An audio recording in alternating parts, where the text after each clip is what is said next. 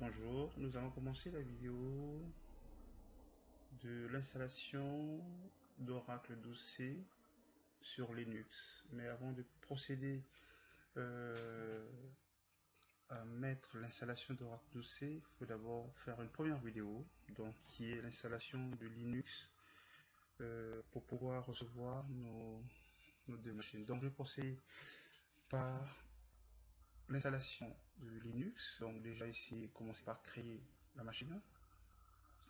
Donc là, nous avons euh, notre machine qui va recevoir, qui est euh, Aura 1. On va juste vérifier que les paramètres sont bien positionnés, à savoir euh, la machine en termes de CPU. Là, j'ai 4 CPU. Ce qui m'intéresse ici, c'est pouvoir mettre où est la source qui va recevoir le fichier ISO. Dans le fichier ISO, ne pas oublier à pouvoir coucher cette zone. Donc je vais mettre en rouge, hein, comme, euh, comme, on fait habituellement. Donc je vais juste euh, faire une annotation. Ici, cette zone, c'est très important. Quand on va coucher la zone, c'est au niveau source. Le niveau source, c'est le lien entre euh, la machine virtuelle et la machine physique. Donc là, je choisis l'ISO Linux 6.5. Je fais OK. Une fois OK, ben, euh, je revérifie que nous avons un seul disque. On peut rajouter un deuxième disque dans le, dans cas où nous avons euh, des ressources, mais ça c'est pas un problème. Le disque peut être ajouté après. Donc, euh, la carte vidéo, OK. Périphérie, contrôleur ici. Au niveau euh, adaptateur, nous avons le réseau 1 et 2, sachant que euh, si on veut mettre du cluster, il faut deux cartes pour la partie publique et la partie privée. Donc là, je mets OK. Donc, une fois qu'on a fait, qu'on a vérifié ces parties, on peut lancer. Alors ici, euh, il serait peut-être judicieux de démarrer la machine ce qu'on peut faire ici, c'est de, prendre, je prends une console.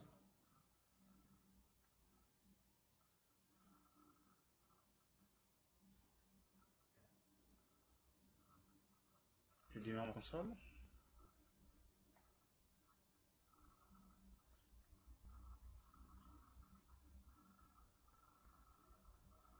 Ça prend un petit peu de temps. Voilà.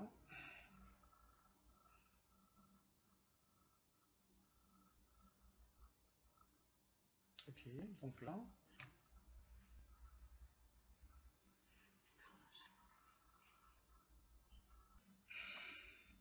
Donc là, on a l'interface de, Linux qui est, en face. Il suffit de d'accepter. Voilà, et c'est parti. Pareil, Alt Control pour pouvoir avoir le contrôle de la main. On va essayer d'agrandir. Hein. Les vidéos derrière de petits, euh, ça n'intéresse personne. Hein. Skype, euh, ça c'est très personne. Bon, c'est vrai, on a oublié notre tradition de mettre un peu, un peu, de musique qui fait du bien à tout le monde. Et bien, ce que je vais faire hein, pendant que l'installation se fait. Allez, un peu de source, ça fait du bien. Vous permettez.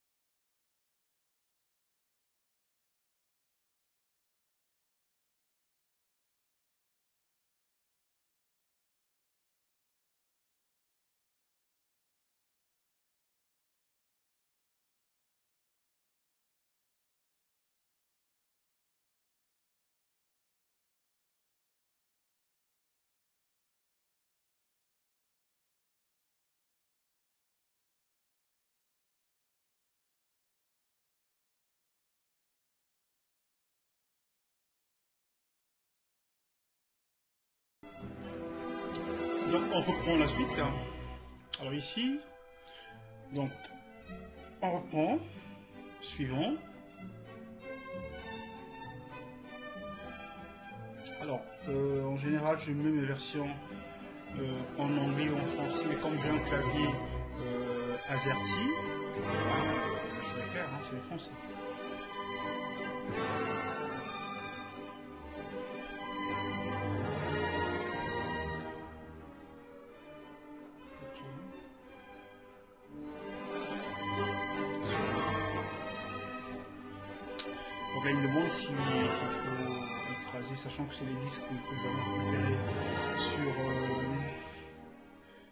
Notre machine, faut pas oublier, sur le data store. Donc nous on utilise euh, LoRa Data 1 pour cette machine. Il faut bien vérifier quel est l'espace euh, disponible pour pouvoir euh, continuer l'installation. Voilà.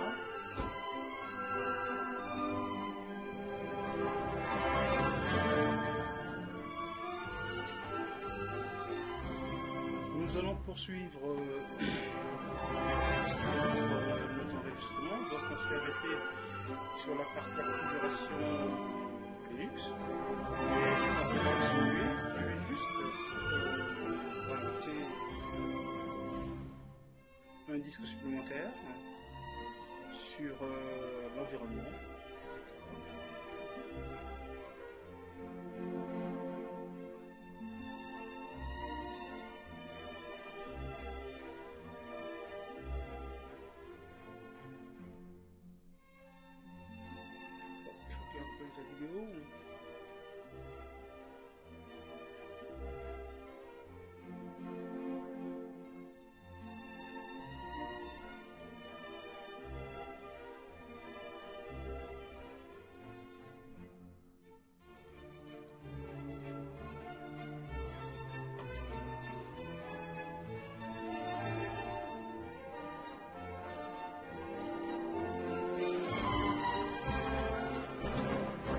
Allons continuer avec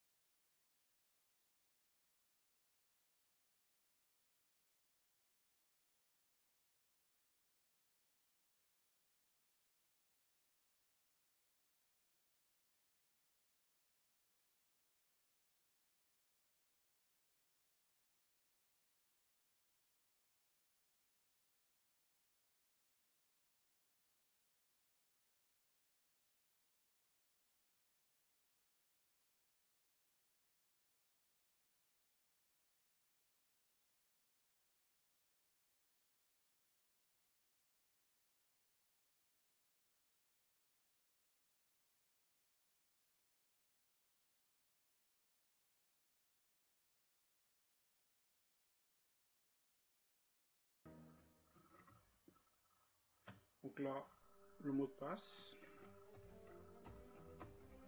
de route. par principe, c'est bien de mettre un mot de passe qui, qui peut converger avec tous les claviers. Par exemple, vous mettez les lettres qui sont pas dans le mode QWERTY et AZERTY, évitez le A, évitez le Q, le W, le Z, hein, le M, ça serait bien. Alors, à chaque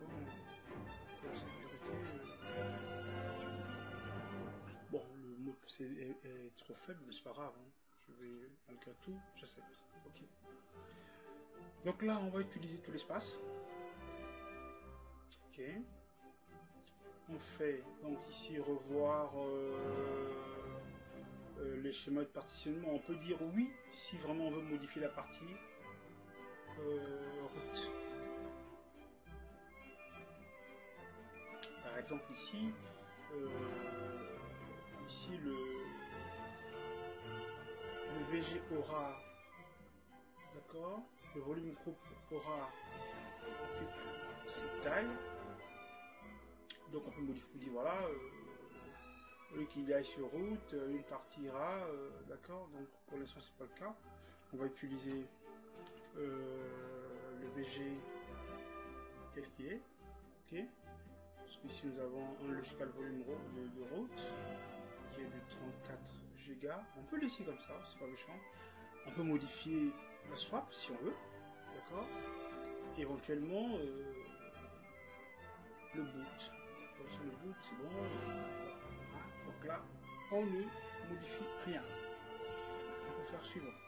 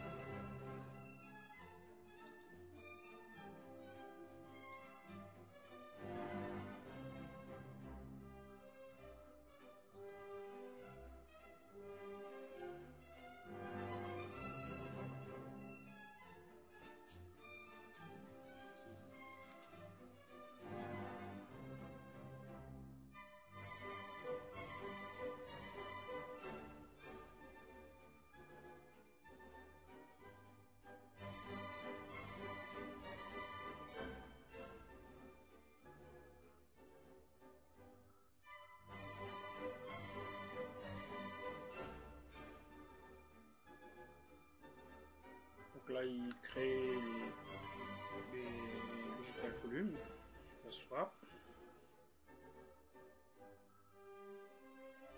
Il le fera pour euh, voilà le volume pour route.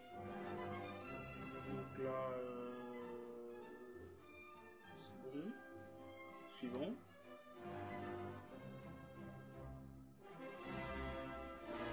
Pas besoin de tourner pas, c'est pour démarrer, euh, le.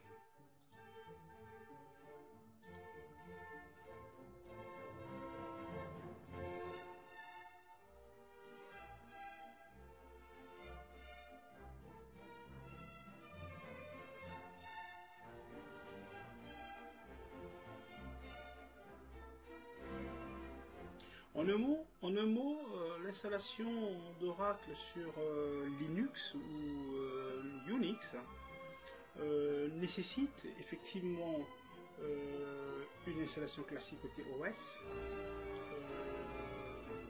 du style installer Linux, installer les users Oracle, installer les users grid dans le cas du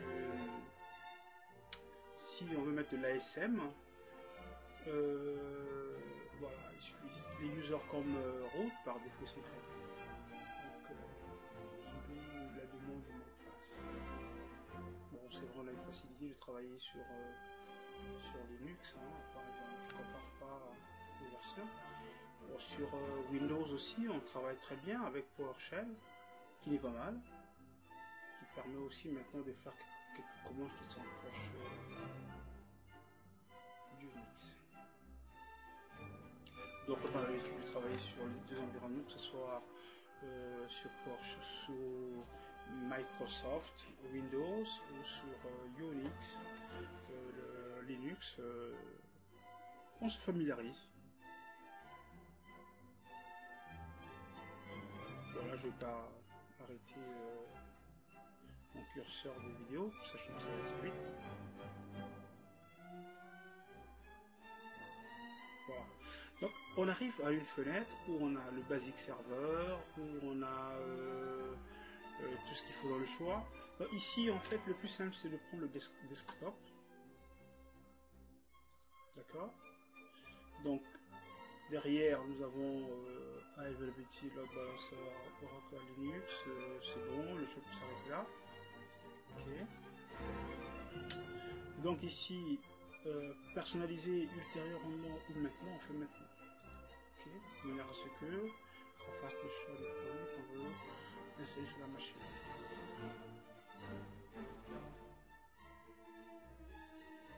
Alors ici, au niveau système de base de données, euh, accès à oui, euh, on est sur machine virtuelle, ça je prends. Compatibilité je prends. Euh, donc euh, le stockage euh, client euh, ISCSI, bon on va pas l'utiliser, on va pas l'utiliser, petit prochainement on n'utilise pas. Unit. Performance, de sécurité, tous, les outils euh, réseau.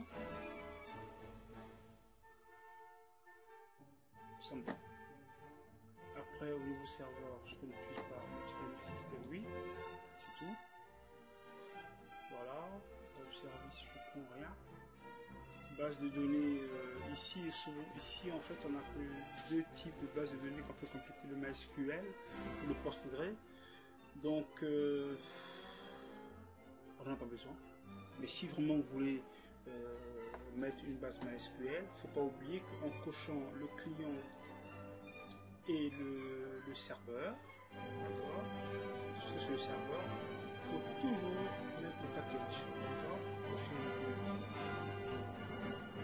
Bon, on mettra parce que peut-être que des je ferai des démos sur MySQL, je prends quand même. Fermé. Pareil pour le client. Euh, nous avons des options 2 sur 5. Donc ici, il faut aussi rajouter les paquets qui sont associés, d'accord Fermé. Bon, je prends juste MySQL, je ne prendrai pas le PostgreSQL. Euh, voilà, c'est juste pour à titre d'exemple. Je viendrai pour la prochaine vidéo faire, aussi une démo sur MySQL. La suite.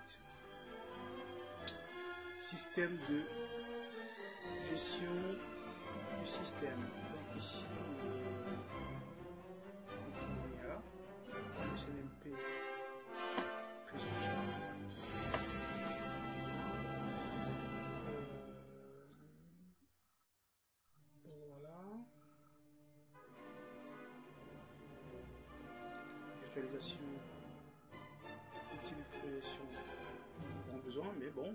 Ça c'est vraiment facultatif, hein, ce que j'ai sélectionné l'an dernier. Après nous avons le bureau, dans le bureau 3D, Voilà. En mettant le desktop, on est sur le système X Windows. Pratique. Application, euh, les c'est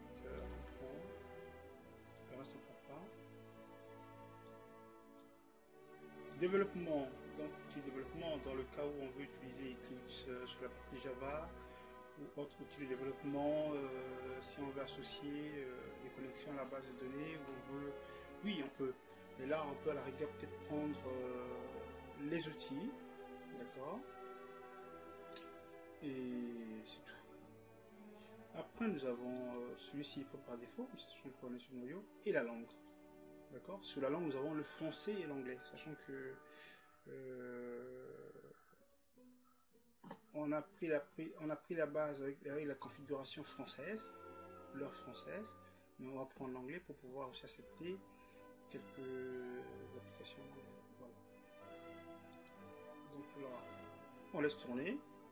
Donc cette phase va durer euh, quelques minutes et comme par coutume, donc euh, moi je vais mettre en pause ma vidéo de manière à ce qu'elle soit courte, puisque ce qui suit, c'est un curseur qui va nous montrer l'évolution de l'installation des packages équivalents de certains RPM qui seront associés à notre environnement Linux qui va accueillir l'Oracle 12C. Bon, sur ce, il vérifie le package. D'accord Après, euh, c'est la clause. Euh,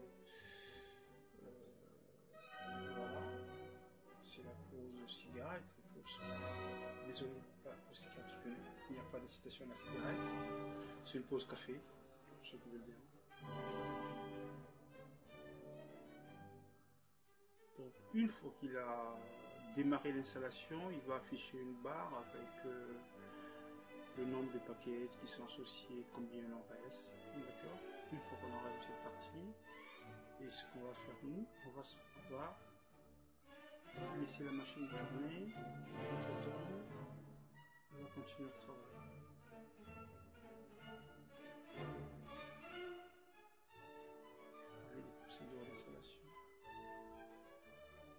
Donc là, nous, nous, sommes sur la partie OS. On va essayer de, bien vérifier que l'OS est bien.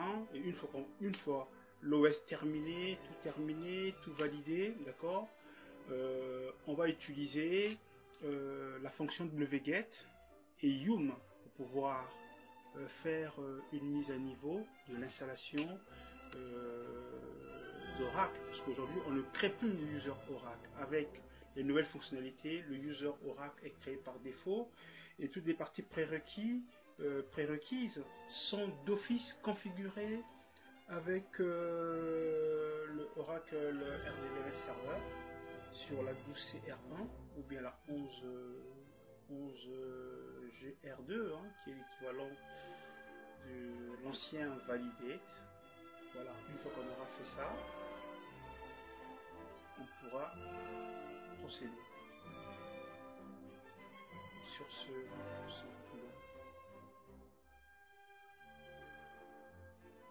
Dès qu'il démarre, on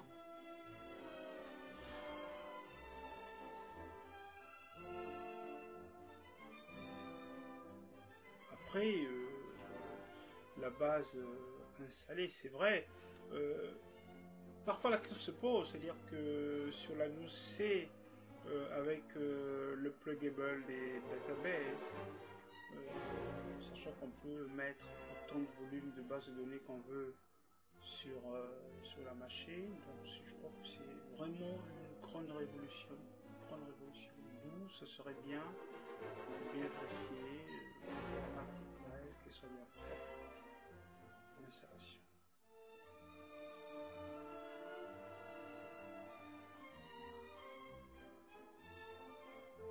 Après, la question se posera, est-ce qu'on va utiliser le Yum Update ou le Yum Upgrade? Ok, parce qu'en termes de fonctionnalité, euh, il y a Upgrade va se mettre à jour les packages sur la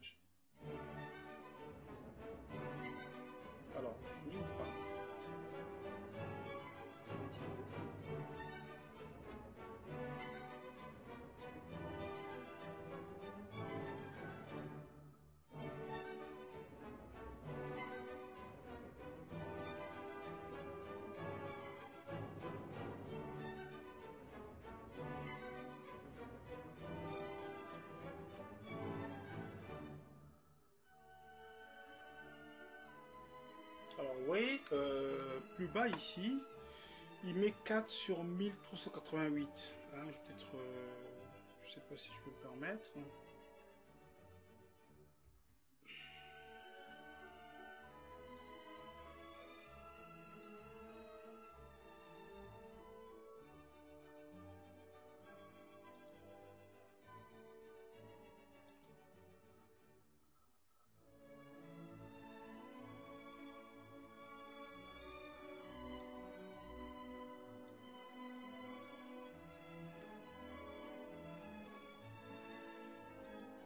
Question de mémoire, hein, il va être mal un peu à, dans leur data. C'est juste pour euh, montrer. Voilà. Donc on va surveiller cette zone. D'accord. De manière à ce qu'il va évoluer normalement. Et nous, pendant ce temps, on se fait une pause. Je mets le compteur en arrêt pour ne pas euh, aller au-delà du temps qu'on ne veut pas passer. D'accord? Pendant ce temps, la vidéo continue et je reprendrai euh, quand tous les paquets seront installés.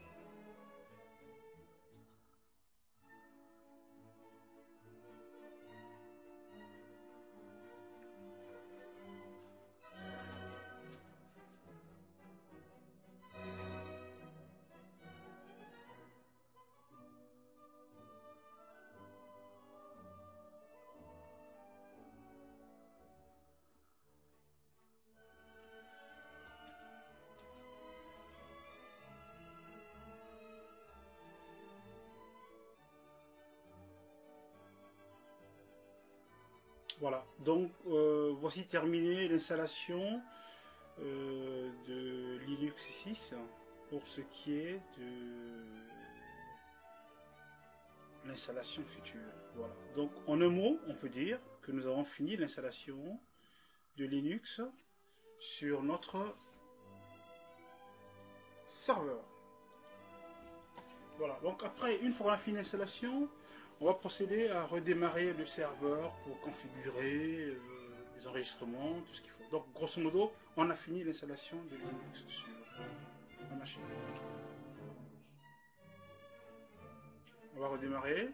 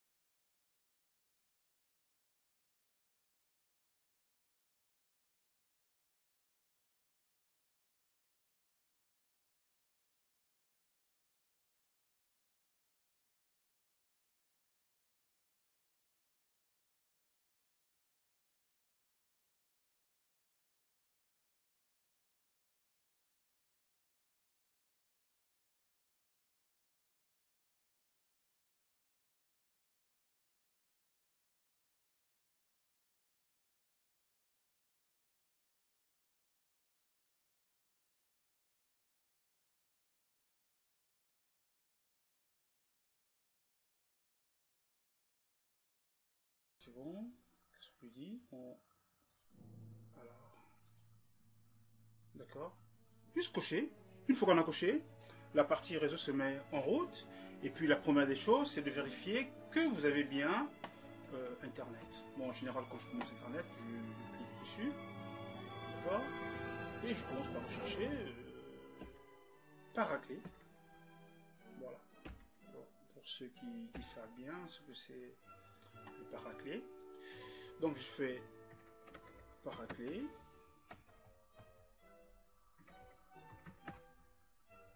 D'accord? Voilà. Internet marche. Ok, donc c'est wiki Paraclet, voilà, maintenant si je mets Paraclet, euh, bonne aventure, ça sera moi-même. Voilà. Donc là vous voyez Paraclet, j'apparais, en gros, vous voyez Donc euh, ça veut dire que mon produit marche. Ok? Voilà. Donc, sur ce,